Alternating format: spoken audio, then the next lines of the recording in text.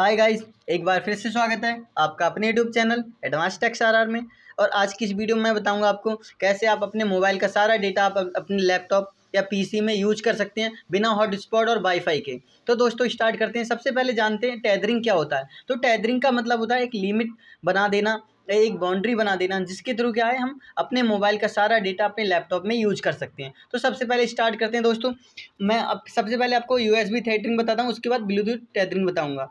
तो ये U S tethering में क्या होता है? आपको यू एस केबल लगानी है अपने लैपटॉप में, उसके बाद अपने, या डेस्कटॉप में, उसके बाद अपने मोबाइल में यू एस केबल लगा लेनी है। यहाँ पे चार्जिंग का ऑप्शन दिखाई देगा। हमें क्या करना होता है दोस्तों? उसके बाद हमें सेटिंग नाम के ऑप्शन में जाना होता है। सेटिंग्स में जाके हमें क्या है? हॉटस्पॉट एंड टैदरिंग में जाना होता है। हॉट पर्सनल हॉटस्पॉट का ऑप्शन आ रहा है। इससे भी हम अपना डेटा यूज़ कर सकते हैं। लेकिन हमें क्या यू एस बी के थ्रू यूज़ करना है? तो यहाँ पे यू एस बी टैदरिंग नाम का ऑप्शन दिखाई दे रहा है। तो दोस्तों, कुछ मैं अपने लैपटॉप की वीडियो दिखाता हूँ, जिससे मैंने अपनी डेटा केबल को कनेक्ट कर रखा है। दोस्तों, अगर हम ध्यान से देखें तो यहाँ पे क्या है?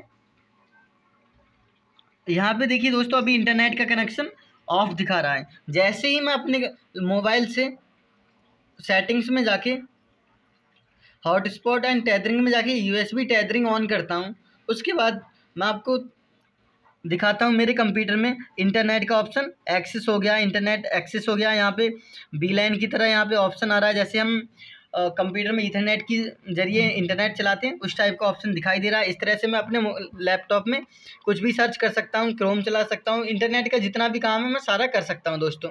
इसी तरह अब बात करेंगे ब्लूटूथ टेदरिंग क्या होती है। तो दोस्तों अब मैं अपने लैपटॉप से यूएसबी केबल हटा देता हूँ, उसके बाद हमें क्या करना है दोस्तों?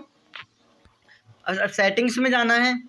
और सेटिंग्स में जाने के बाद हॉटस्पॉट एंड टैदरिंग में जाके ब्लूटूथ टैदरिंग पे जाना है।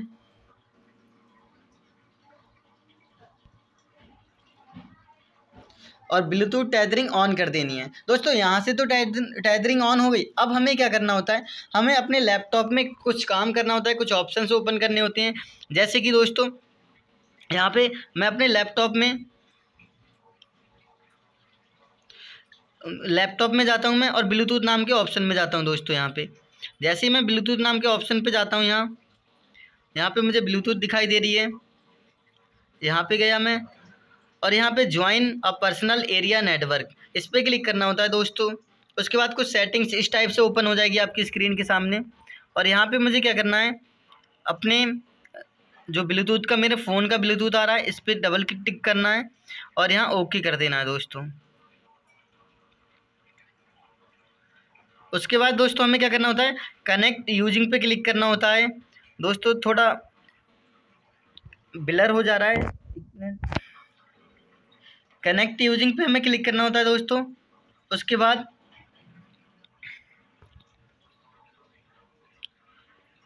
दोस्तों, कुछ टेक्निकल प्रॉब्लम की वजह से यहाँ से थोड़ा ब्लर ब्लर दिखाई दे रहा है। यहाँ पे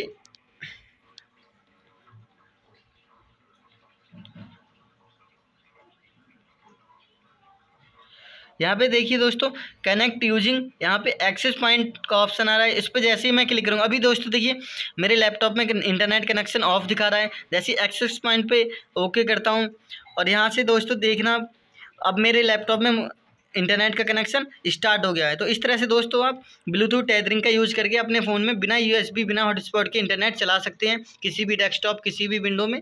थैंक यू गाइस